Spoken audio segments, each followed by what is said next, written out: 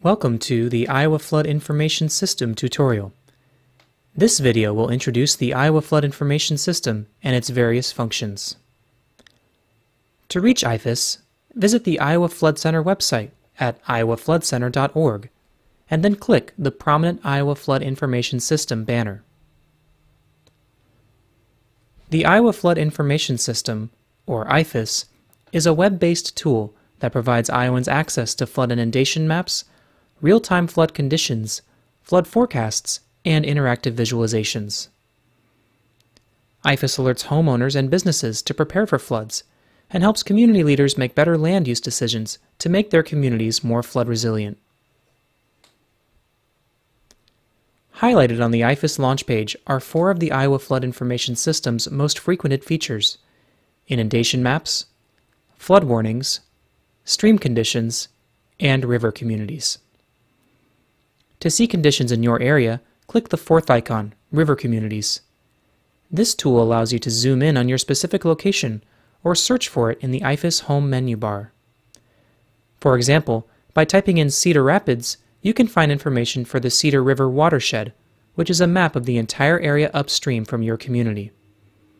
In the upper right of your screen, you'll find information about the watershed, including population, land area, and travel time, or how long it takes water to travel from the furthest edge of the watershed to your community. Using the tools in the menu bar, you can track conditions in the selected watershed, including river and stream levels and current and previous radar rainfall totals. In the Data Resources menu, click Stream Gauges. This will bring up a collection of buttons in the selected watershed, each representing river and stream sensors placed by the Iowa Flood Center and the U.S. Geological Survey. The Iowa Flood Center has installed over 200 gauges since 2010. Click on one of them to view more information about a specific river or stream, and click More Info for detailed information. For another view of how floodwater may be moving through the watershed, go to the Toolbox menu and click Multi-Sensor River View. This will bring up a list of all the sensors in your watershed. You can view more information about sensors upstream of your location to anticipate future river levels in your community. You can also track rainfall in your watershed. Use the Weather Conditions tool to observe current rainfall, daily rainfall for each day over the past two weeks, or cumulative rainfall over the same period.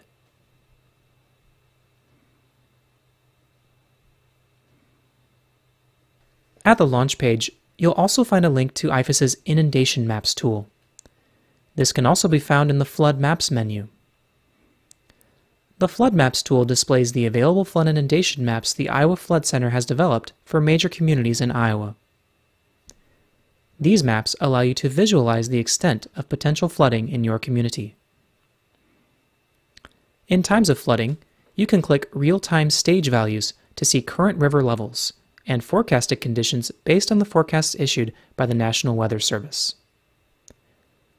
Click River Stage to visualize flooding at various river levels.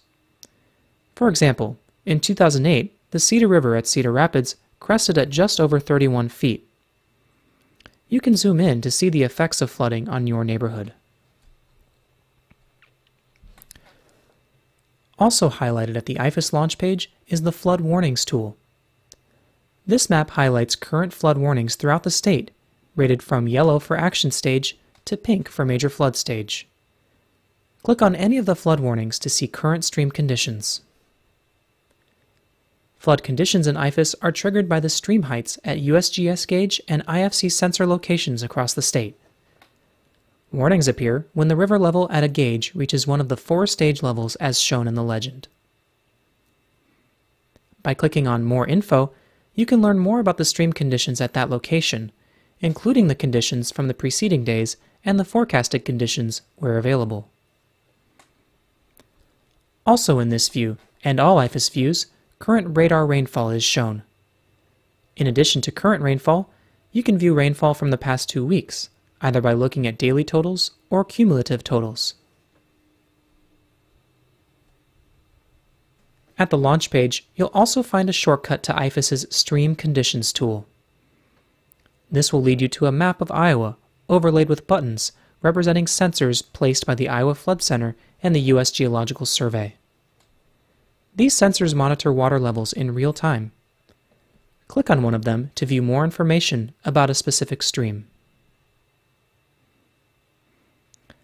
IFIS includes a tool for sharing the useful information you've found with others. In the Info Panels menu option, click Take Snapshot.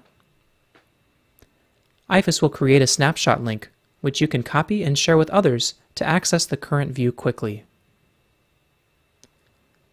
We hope this introductory video provides you with a basic understanding of the many features and tools available in the Iowa Flood Information System. Additional data and features can be found by exploring the menu options.